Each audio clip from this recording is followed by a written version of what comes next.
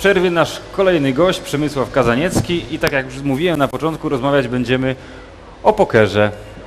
Przemku, ja sobie mm, wynotowałem kilka definicji hazardu z Wikipedii.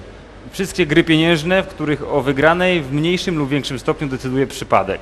Z kolei ze słownika języków obcych mamy takie dwie krótkie definicje. Gry lub zakłady, w których stawką są pieniądze, a druga to ryzykowne przedsięwzięcia, którego wynik zależy od przypadku. Wobec tej definicji, gdzie można zakwalifikować pokera? Czy on się w tym hazardzie łapie, czy nie? Może się łapać, oczywiście. Od, grając pokera można się uzależnić od hazardu. To wszystko jest bardzo, e, bardzo... Poker jest bardzo, też musiałbyś mieć definicję pokera oczywiście, to też jest bardzo pojemne i ta gra może oznaczać bardzo wiele, ale e, no, z całą pewnością poker jest to gra, która bardzo dużo zależy od umiejętności e, gracza. To jest gra umysłowa. Czyli niekoniecznie od przypadku.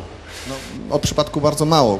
Gdybyśmy bardzo różnili się poziomami, to przypadkiem mógłbyś wygrać ze mną dwie partie na 100, ale, ale w ostatecznym rozrachunku zwycięzca musi być lepszy.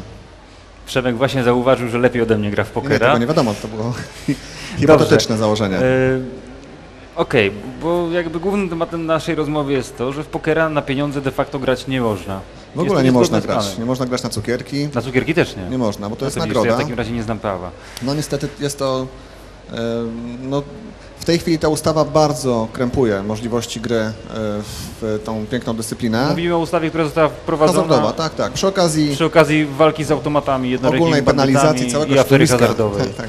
Bo tam to nie, nie chodzi tylko o ruletkę i automaty, tam jakby e, była potrzeba bardzo szybkiej interwencji propagandowej, w związku z tym wprowadzono ustawę e, antyhazardową, no, z którą można się zgadzać bądź nie zgadzać, natomiast ona dotknęła, e, zakładam przypadkiem, no, poker. Rów, również taką grę jak poker.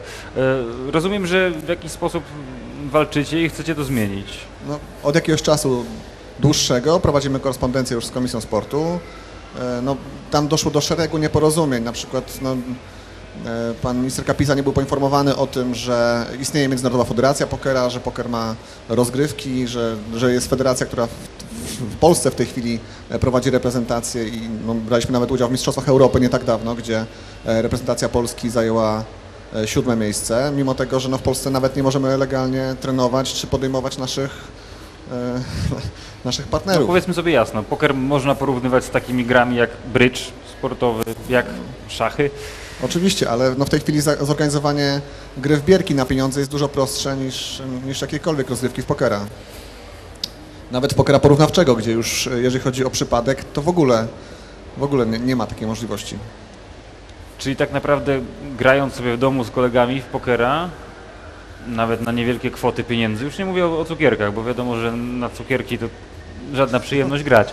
E, łamię prawo i No ponosi konsekwencje organizator i ponoszą konsekwencje wszystkie osoby, które są zaangażowane w tego rodzaju przedsięwzięcie. No nie jest to logiczne, nie ma to najmniejszego sensu. Zakładam, że teraz no, świeżo powstał ten zespół e, parlamentarny e, z panem posłem Górczyńskim, z panem Marczułajtis, z panem Tomaszewskim i z panem Borowskim. Zakładam, że tam będą bardzo szybkie, bardzo szybkie akcje podejmowane w kierunku no, zmiany tej ustawy na jakąś bardziej logiczną. No i tutaj też my jako Związek Pokera Sportowego staramy się jak najszybciej doprowadzić do sytuacji, żeby reprezentacja mogła e, no, w kraju cywilizowanym e, no, zagwarantować naszym e, partnerom czy gościom warunki do gry i również no, chcielibyśmy prowadzić rozgrywki ogólnopolskie, co w tej chwili nie jest możliwe. ja rozumiem, jako, że jako Związek Pokera Sportowego przede wszystkim walczycie o to, żebyście mogli trenować.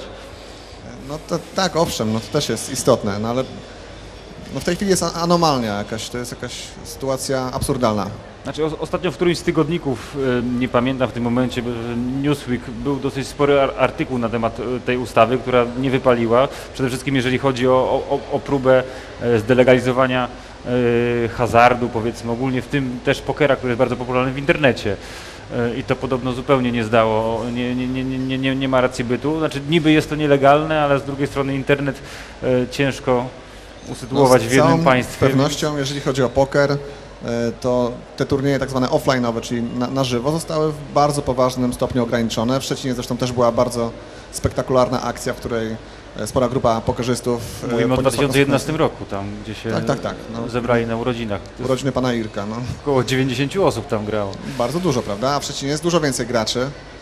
No, Więc- a, a jeżeli chodzi o, o, tamtą akcję, czy tam ktoś poniósł jak, jak, jakieś kary, jakieś sankcje były rzeczywiście, czy to się rozeszło po kościach? No, z tego co wiem, część osób przyznała się do tego, że, że jest tak, jak zarzucali, zarzucały organy, więc y, no, te konsekwencje były z automatu, była nałożona grzywna. Natomiast co do organizatora, z tego co wiem, to toczy się postępowanie.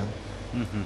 Tak wracając do tego artykułu, o którym wspomniałem, tam e, został podany taki przykład e, nowej emigracji pokerowej wręcz, czyli ludzi, którzy e, zawodowo grają w pokera w internecie, a nie bardzo mają możliwość w jakikolwiek sposób wykazać swoje dochody w, w tym momencie z tego pokera w kraju. Abstrahując od tego, że jest to zupełnie nielegalne grać w internecie, więc oni zaczynają emigrować na Wyspy Brytyjskie, na Maltę. Być może jest takie zjawisko, ale No, najlepsi wiadomo, polscy że, że nie jest to jakieś masowe, bo tych zawodowych pokerzystów pewnie wielu nie ma, ale Ma, maso, no, na pewno najlepsi pokerzyści muszą brać udział w tych największych turniejach, więc i tak będą wyjeżdżali.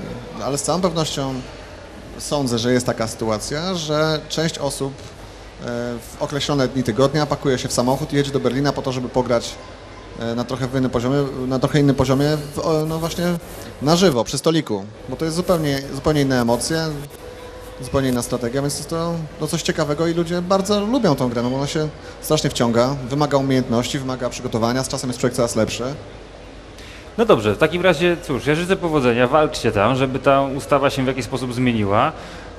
Jak już to wywalczycie i zmienicie, to ja chętnie Się siądę z tobą wtedy. do stolika, zmierzę się.